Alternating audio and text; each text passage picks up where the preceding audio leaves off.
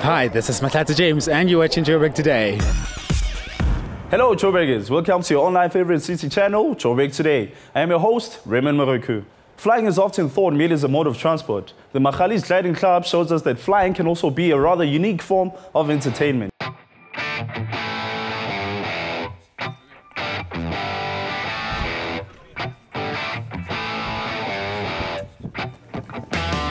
Gliding, the oldest and most affordable type of recreational flying, has a home in Johannesburg at the Magaliesburg Gliding Club. Gliding is unpowered flying. Uh, it was the first flying at, uh, overall in the late uh, 1880s. From there, gliding developed into a very elaborate sport, and we enjoy the sport out here uh, every weekend. Uh, we are about uh, 90 active members in this club, and then there are some social members. Uh, Magalies Gliding Club owns four trainers, which are dual-seater gliders. Uh, three of the type of the twin which are fiberglass aeroplanes, very good aeroplanes. And we also got one old timer, which is a K7, uh, which is still wooden fabric. And then we've got four single-seater gliders. The club has different opportunities, including being trained to pilot, motorized gliding, or flights with traditional gliders. Gliding is often referred to as the purest form of flight, as you usually don't use motors and instead, like birds do, rely on weather patterns and thermals in the air to keep you aloft. To get you in the air initially, there are two methods, either being towed by a motorized plane or a winch launch. The winch launch is very much like a very steep kite flight and you release about 400 meters above the airfield the aerotow. You just follow the tug and uh, after you release you try and find a thermal and go up with the thermal. Favorite thing about gliding is being up in the air, soaring like an eagle and uh, flying cross country. The Gliding Club website, mgc.org.za, provides prices, schedules, and more detailed information on the sport and club.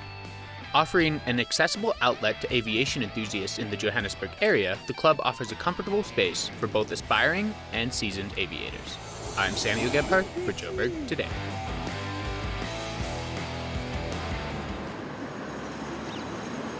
How's it? My name's Matt Moore, and you're watching Joburg Today. Follow us on Twitter, that's at Joburg Today, and like our Facebook page, that's joburgtoday.tv. Johannesburg is known for mining rocks, but these days, another type of rock-related activity, rock climbing, is becoming part of the city's social and sports scene. As climbing increasingly gains traction in the sports world, more and more people flock to the sport. The Wonderwall Climbing Gym in Johannesburg provides a space for people to train, professional and amateurs. Wonderwall's been around for nine years, and uh, we've always been very interested in alternative extreme sports, which seem to be gaining traction in South Africa. The people that train here are very diverse. We've got the purely recreational people are looking at an alternative way of staying fit and healthy, and they want to combine it with a hobby, uh, something that's a little bit more exciting, a little bit more challenging. And then we've got the more serious climbers, like the youth climbers that are competing for South African colours and competing overseas. I'm part of a climbing team here, um, and then I also climb for the national team, the South African team. I saw it at my school, and I just wanted to try it, and I started, and I was good at it. It adds a convenient place to come train, and uh, we hold lots of competitions here. We've got crew and coaches that are here to actually introduce people to climbing in a safe, controlled environment before they actually go outdoors. So we can get the basics down, we can let people experience climbing. We also have technical courses which actually help people understand things like belaying. So what we also do, instead of just selling equipment, we like to demonstrate the equipment and take a little bit of satisfaction in knowing that people understand the application for the equipment they're going to use before they go outdoors. There are more than a few types of rock climbing, and Wonderwall offers indoor options for some of the more popular varieties.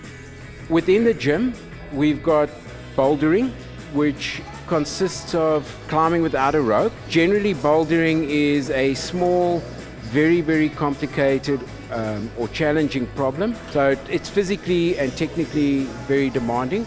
Then we've got top roping, where people are attached to a rope. They've got a belayer, and the rope is relatively tensioned, so people don't have any risk of falling. And they climb routes that are graded with different difficulties. We also got sports climbing, where the rope is not attached to the wall. Uh, there is no anchor when you start out, and as you climb, you clip the rope in, you top out, and then you come down safely. Well, I was looking for an activity that was exciting and that exercises your whole body. Rock climbing is an excellent activity. It's adventurous, it's exciting, it looks dangerous, but it's quite safe. It's an awesome, awesome pastime. I love it.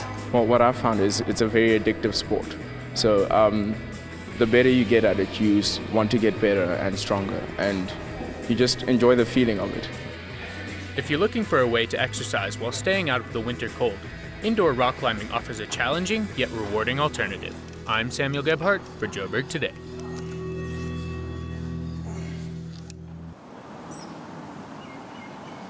How's it? This is Zion, and you are watching Joburg Today. For more news on the city, do check out our playlist. Also from me, Ray, and the rest of the Joburg Today crew, it's goodbye.